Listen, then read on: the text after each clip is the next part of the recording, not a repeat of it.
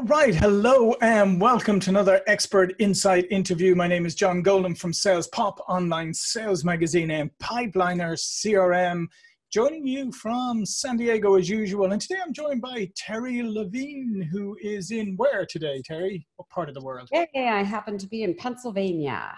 Ah, Pennsylvania, lovely, lovely part of the world as well. And uh, Terri is the founder of Heart Heart Repreneur LLC is a business and executive coaching expert and assists businesses worldwide with business growth, sales, and marketing. And today we're going to talk about marketing with the conversion equation, the key to more prospects and closing sales. All right, so Terri, the obvious question is what is the conversion equation? That's the best question to start yeah, with. So I have established for myself six different multi million dollar businesses in all mm-hmm. different industries. And I've helped about 6,000 people do the same using a formula. And I'll teach it because most people do marketing all wrong. So, very simply, it is to first interrupt, then it is to engage, then it is to educate, and finally it is to offer. And there's nuances, of course, in there. If you apply this and you do it correctly, you will have a conveyor belt. I really mean that of qualified prospects, and you'll be making the kind of money in your business that you desire and that you deserve. Yeah, no, I like that. I like that idea of interrupt because let's face it, like we we are such a distracted uh, mm-hmm. society today and a culture and so little attention span is that you know a lot of marketing and messages and stuff they just they just float by. They're just pretty pictures in the wind. They're there they're gone. We don't really uh, take them in at all. So let's talk a little bit about how do you how do you interrupt people who are already distracted? So what i find is and you've said it you know people are so busy. There's so many marketing messages. You can't look at your your gmail. You can't go look at social media without marketing. So interrupt the concept. Let me just explain that is that when most people are looking at things online or offline, they're in what is called downtime, which means they're mm. not really paying any attention. Have Have you, John, like ever driven somewhere and been like, did I remember the, to go through the red lights or did I stop? Oh yeah, I mean all the time. I mean it's funny. I mean if you do that, if you drive like I do sometimes San Diego to LA and back, and suddenly you're like, like what happened to Orange County? Exactly. so the concept, and that that nails it. The concept of interrupt is to get the right people out of downtime, to get their brain into uptime, to go, oh, wait, that particular message speaks just to me. So if it's a message about parenting and I'm not a parent, mm-hmm. I stay in yeah. downtime. If I am a parent, I get pay attention. So does that part make sense for interrupt? Mm-hmm. Yeah, absolutely. And it's funny uh, because um, there's some people who do it really well. And I've noticed actually recently is, because I, I go on Instagram is the only real social media that I, I kind of use personally. And I find I get interrupted all the time by these these ads. Not that they pop up and that I ignore them. They pop up and I click on them. I hear because, you. Yeah, and because they do talk to things that I'm interested in or whatever, and then um, and I find that I have to actually stop myself because otherwise I'd be constantly buying things that I don't need. Um, but I see but um, so that's Instagram. But in a in a in a in a wider sense, like when you look at most of the marketing and you look at corporate websites and all of that, there's very little in there that you would that would stop you in your tracks. And that's the problem. Most people's marketing doesn't talk to a very specific audience who has a very specific problem. And so it's it's nothing that interrupts people. You know, if you just say, oh, um, you know, sell your goods on Amazon. That's not that exciting. If you say, I have a formula that will make you $20,000 selling your goods on Amazon, if you want to learn it, pay attention. If I want to learn it, now I'm paying attention. Mm-hmm. So you interrupt the right audience with the right message, and then you have to follow the engage, educate, offer as mm-hmm. well. Yeah. Okay, so let's talk about the engage part. Okay, so you got my attention. You interrupted me. I have those couple of couple of seconds in my goldfish attention span. Now, how do you engage me? So think of interrupt as a, headline that yeah. you get the person to pay attention to. Engage, you can call it a subhead. people go right back into downtime unless very quickly there's a fact or there's a piece of data or information that makes them curious. So let's say I interrupt you and say, Hey, if you're a woman between 25 and 35, I have the secret to how you can lose weight. You go, Oh, that's me. I pay attention. Now you mm-hmm. engage me with a subhead that says, Julie is just like you. Read her story of how she lost weight without dieting and exercise. So now I've engaged you. Another word for that is hooked you to take mm-hmm. you a little bit further. And the goal is to keep your brain in uptime, no more going into downtime. And and what you mentioned there, so a lot of it is it has to be very relatable to engage you, right? Just the the the example that you just there with the weight loss, and you know, here's here's this person and they did that. It has to be relatable, something so that you go, oh, okay, that sounds a little bit like me. Exactly, exactly what you want to do. Mm-hmm. And then the the next part of it. So the third step is educate. Now you've mm-hmm. interrupted me, you've engaged me. Now you have to actually teach me something. And I want to speak to this for a moment. Most people don't bother to do that. They instantly go, watch my webinar, download my book. And no, no, no, no, we're not ready for that. We're creating a heart to heart relationship. Educate is now give me something of value teach me something, tell me something, help me in some way, shape, or form. So, um, if it's this weight loss example that I'm making up, I might say, here's the four foods that you really want to focus on in your weight loss journey.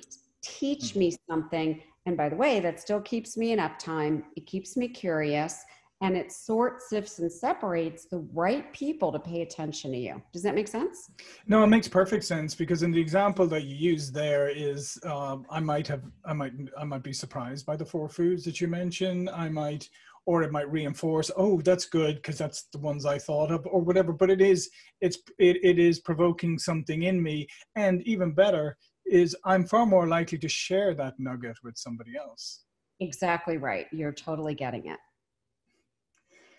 Okay. Um, and then, I mean, and I do think you're correct. Is I mean, I do think a lot of people miss the whole education piece. Um, and it doesn't have to, because sometimes I think when people think of education or educate, they think it has to be something, you know, comprehensive and big. And that sounds like it's time consuming and all of that. But the example you just used is just something as simple, simple nuggets of wisdom. Yeah, so you drop in a point of information, data, a fact, something, not too much. You don't need to mm-hmm. weigh people down. You don't need to go create a whole bunch of stuff. People think they have to create, no creation. What you're showing people is that you have their answers, you're an expert, and if you can teach me something that I don't know, I'm going to be really interested in what you have to say. So don't think that everybody knows what you know. I give marketing, business, and sales advice and I used to assume, well, everybody knows what I know. And now I realize, no, people don't know what I know. So, whatever you know that you're an expert in, give a little bit of education. And then the last step is offer. You want me to speak to that?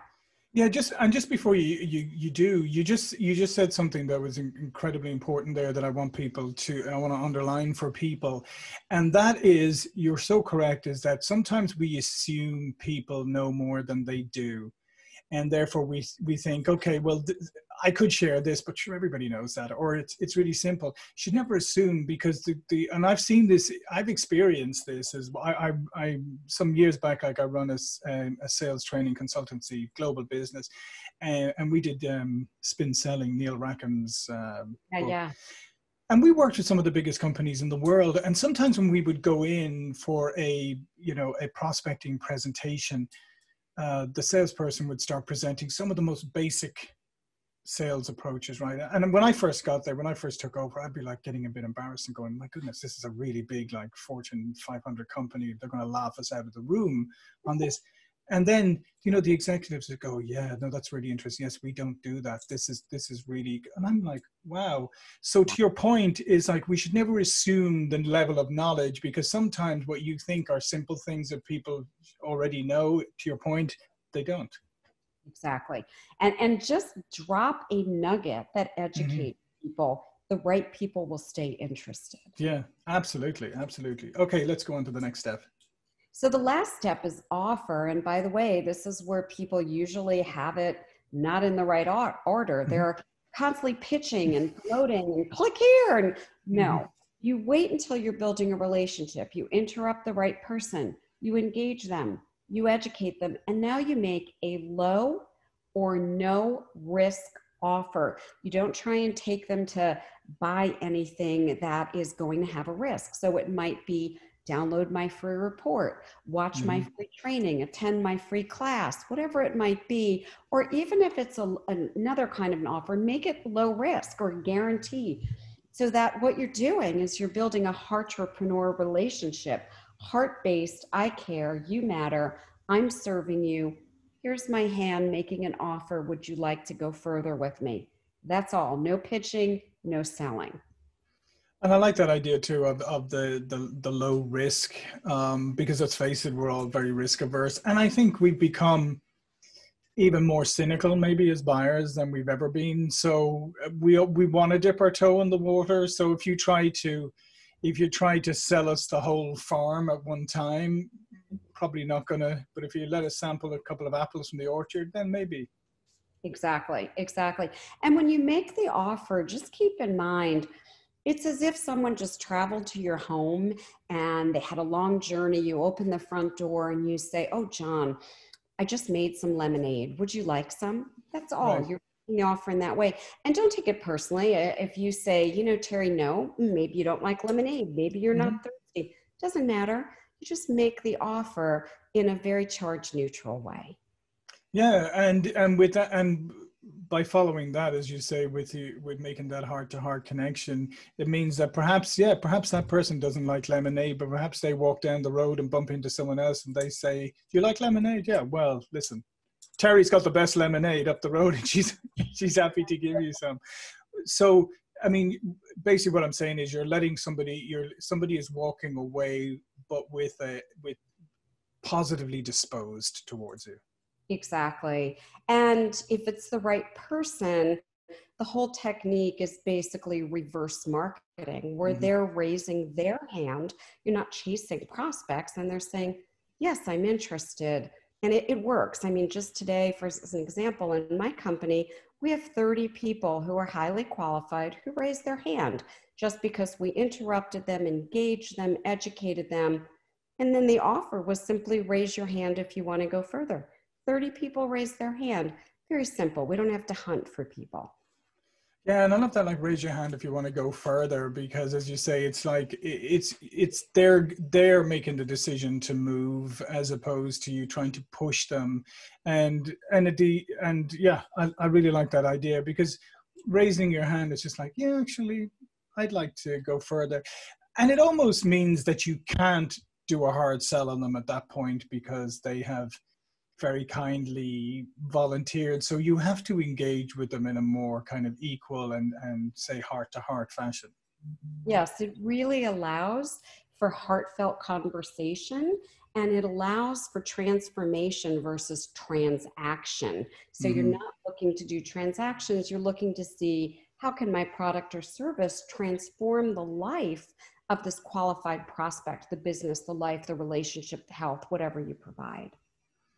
And have you found? Uh, I know you've been doing this for a while, and you've got a you've got a lot of experience and been very successful. But have you found even in recent times that people are maybe looking more and more for that human element, that that human interaction, that heart to heart, because we've been through a period where everybody went a bit technology crazy and then everybody went at arm's length and then everybody was hiding behind technology and all of that. And even before the, you know the pandemic hit i've got a sense that people were sort of there was a lot of fatigue around not having human contact, not having you know uh, interaction with real people, and and obviously I think the pandemic has accentuated that. Um, but had had you been seeing that that this this kind of heart to heart approach was really coming coming back into vogue? I'm glad you asked that. For the last about 11 years, maybe even 12, I started to see the shift. I started mm-hmm. to people get burned out on transactions, on companies that were pushing, overcoming objections, hard selling, um, using tons and tons of, of ads. And people were just getting very turned off. And that's why I decided to be very disruptive and to teach people how to do business heart to heart, authentically, transparently and with integrity. And it's not only grown their businesses significantly, it's actually making a big difference in the joy that they have in their businesses, mm-hmm. whether they're the owner or in sales, doesn't really matter. Yeah, and I and I think that the authenticity has become an even bigger issue because I think even with the pandemic, I think when people were all forced to go home and restricted, it, it promote or prompted a lot of soul searching and and also people were sitting there for the first time without the distractions of offices around them and i think that authentically connecting with people and and and and here's the funny thing is people say well you know it's not the same when if you're doing it virtually and on zoom and all that and i go well not so much actually because you can actually connect with people and sometimes on a on a deeper level with people that aren't physically in front of you that you are talking to through a video chat or whatever because for some reason you, the focus is even greater I would totally agree with that. So I know I've been virtual as a company for 26 years. So I was like mm-hmm. the full beta tester in Zoom. I think a long time. And you can actually have really good relationships mm-hmm. in this fashion. The most effective nonverbal communication area that we have on the human body is the face. Right. So really just focus in and there's no distraction. I can't get caught up in your body language or anything. I can actually have a real conversation with you. Yes, I would prefer to be there in a way we can hug and we can do that. And so, if we can't, this is still a wonderful way to interact and to connect. Yeah, no, absolutely, 100%.